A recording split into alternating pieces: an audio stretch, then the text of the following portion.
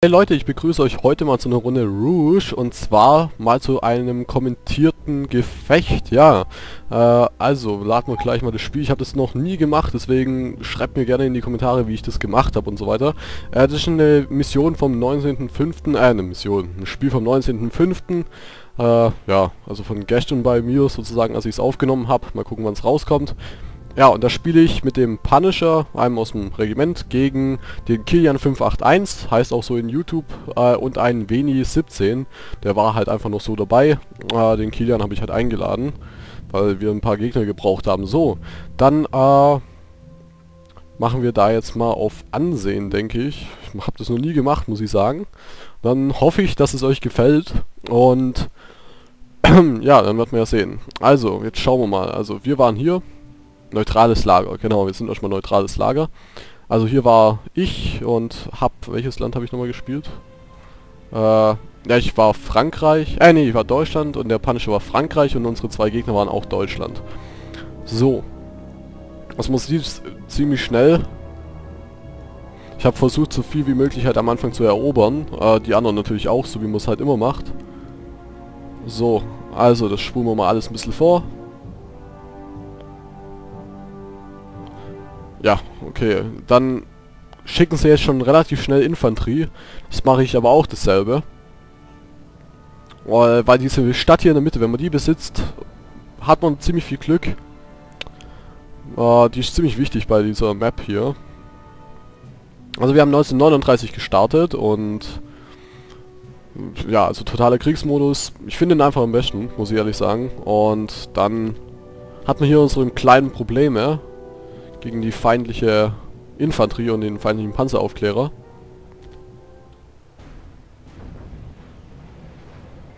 Ja. So hatte ich dann hier meine ersten Panzer. Äh, ich weiß, die deutschen Panzer sind nicht wirklich gut, aber am Anfang zumindest 39. Hier habe ich halt Punisher gesagt, wir müssen unbedingt rechts und links außen äh, diese Nachschublage erobern.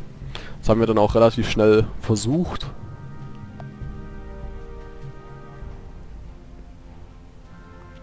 Sind wir halt hier, ja, hier rüber. Dann ist mir aufgefallen, ach, das sind ja Gegner drin. Ich weiß nicht, wie habe ich das gerade eben nochmal gemacht. Muss ich gerade mal schauen, wird man sehen. Buddy joined your channel. Ah ja, ich bin nebenher noch im Teamspeak, ja, aber ich bin gemutet. Äh, naja, egal. So, also da haben sie ziemlich viel von dieser Stadt erobert, aber wir halt eben auch. Die hatten halt eben Flugzeuge und das war ein bisschen verwunderlich, weil, ja, keine Ahnung, das bringt's nicht so wirklich.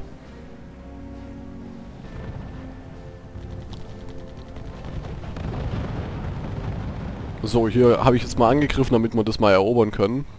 So, die ersten zwei Nachschublager habe ich auch schon. Punisher hat auch zwei erobert. Und er erobert jetzt gleich das dritte vom Gegner.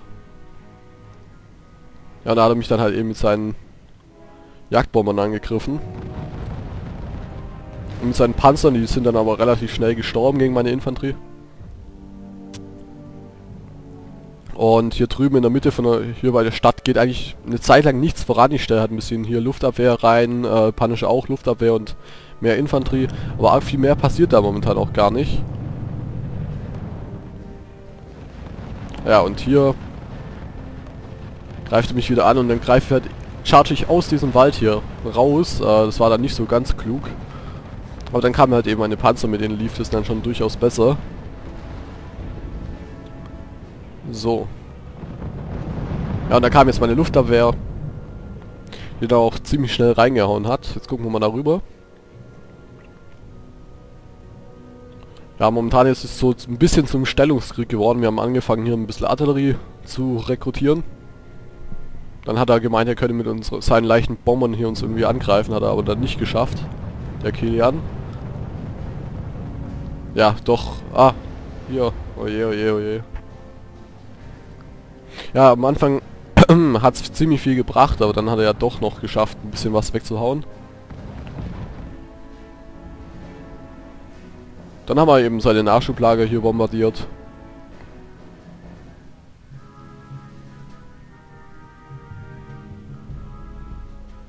So,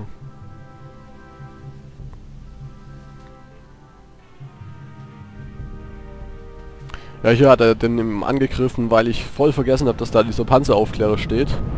Meine, äh, meine Luftabwehr, Luftabwehr, ja, meine Luftabwehr stand halt eben zu weit weg und dann hat er hier angefangen Artillerie auszubilden. Was mich ein bisschen genervt hat.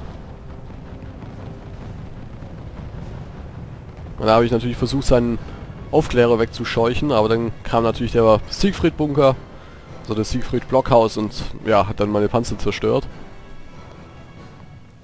Hier hat sich der Punisher ein bisschen aufgebaut, äh, hat ein paar Stellungen gebaut. Und ja, dann haben wir die feindliche Artillerie beschossen, beziehungsweise Punisher hat's gemacht. Und hier an der Stelle hätte ich ein bisschen schneller irgendwie auf Artillerie gehen sollen. Dann hätte ich irgendwie es geschafft, vielleicht seine Panzer, äh, seine mittleren Haubitzen wegzuhauen und ja, keine Ahnung. Das hätte ich machen können. Und hier, das war ziemlich gut von Punisher, dass er das ja gemacht hat. Jetzt sind wir gleich übrigens bei 1942. Hier diesen Angriff, das, da musste dann sich hier zurückziehen und es war ziemlich gut. Und die zwei Einheiten, glauben, ja, die hat er vergessen, keine Ahnung. Ja, das war der andere Spieler. So, die waren dann schnell weg. Ja, und da beschießt er mich ja die ganze Zeit mit Artillerie, bis ich das mal gecheckt habe, damit die vielleicht auch mal Artillerie bauen sollten, war es dann ein bisschen zu spät. So gehen wir mal gerade auf mein Lager. Wobei... Ja, genau das war das Problem. Immer weiter wurden sich da angegriffen. Hab dann eben, eben Panzer gebaut, weil Artillerie ist ja nicht so wirklich gut gegen Panzer. Haben so, hat Punisher die Gegner ein bisschen auf Distanz gehalten, also den Kilian auf Distanz gehalten hier. Ja, äh, ich sollte beim nächsten Mal unbedingt aus dem Teamspeak rausgehen. Ich habe voll vergessen, dass wenn jemand rein und raus geht, man das ja auch hört. Äh, ja, gut, okay, jetzt greift er hier mit seiner Infanterie die befestigte Stellung an. Mal sehen, ob es was wird. Ja, äh, zwischendurch hat dann der Gegner wieder dieses Nachschubdepot erobert und hier das dann zerstört.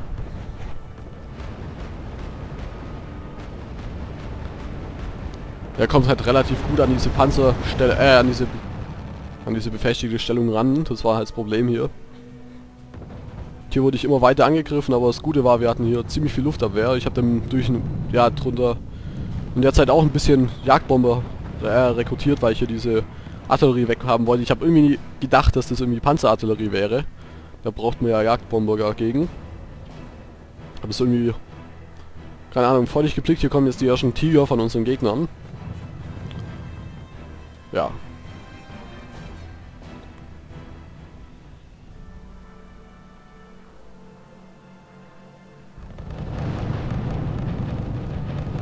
So, wenigstens die Stellung habe ich wegbekommen. Das Problem hat, äh, war, gebracht hat es nicht wirklich was. Es hat mich eher mehr gekostet und viele Panzer hatte ich dann auch nicht. Äh, hier stehen. Außer diesem Paar hier, das war halt eben das Problem und jetzt hat er mich halt beschossen und nach einer Weile bringt es halt Artillerie doch gegen Panzer. Wenn einige draufschießen. Ja, das war halt ein bisschen dumm von ihm, weil er gedacht hat, ich hätte da... Keine Ahnung, was der da bei sich gedacht hat, als er diese Luftabwehr hier vorgeschickt hat.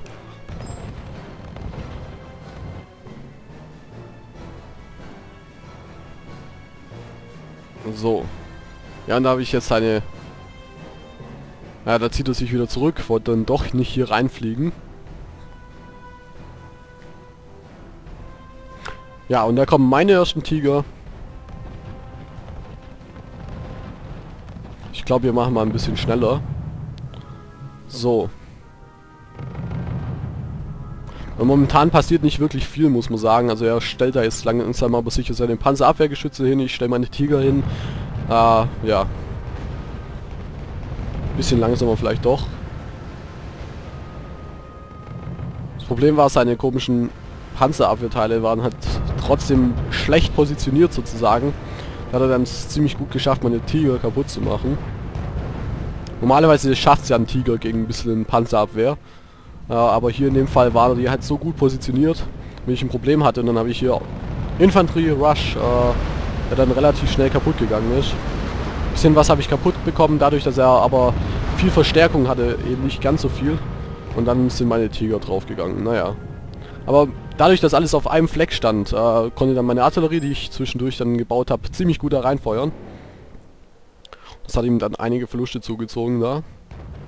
Ja, und dann hat der eine kapituliert, warum auch immer. Äh, daraufhin musste dann Kiel ja mit beiden weiterspielen. Hier passiert eigentlich das ganze Spiel lang relativ selten irgendwas in dieser Stadt hier.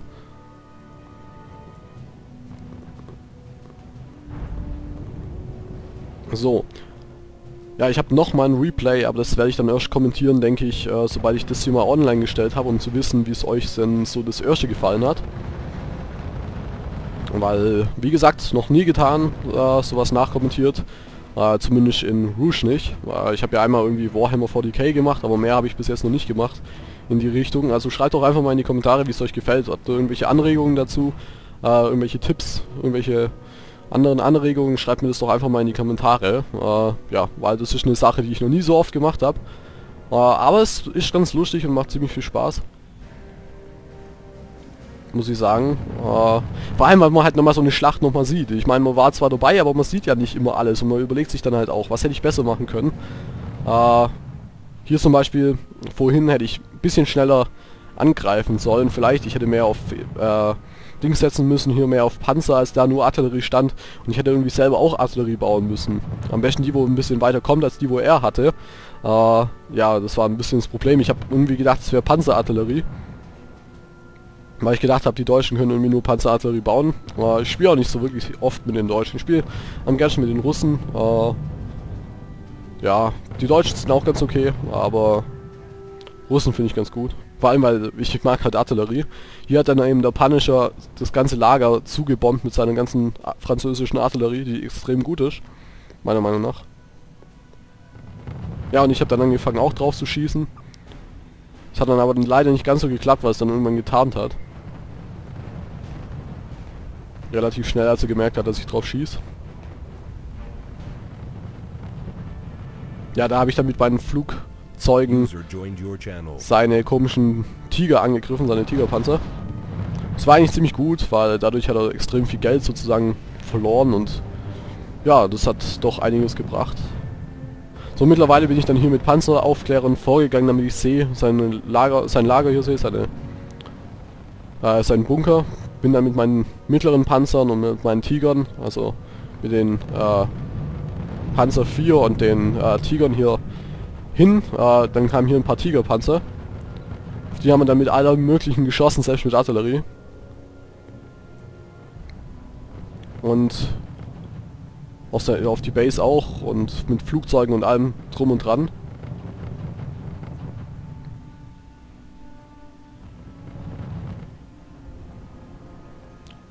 Meine Flugzeuge haben immer gewartet ein bisschen, äh, aber sie hatten einen guten Einsatz. Ich habe zwar oft viele verloren, aber immerhin habe ich auch teilweise einige Tiger getötet, die so äh, zerstört, die so länger gebraucht hätten.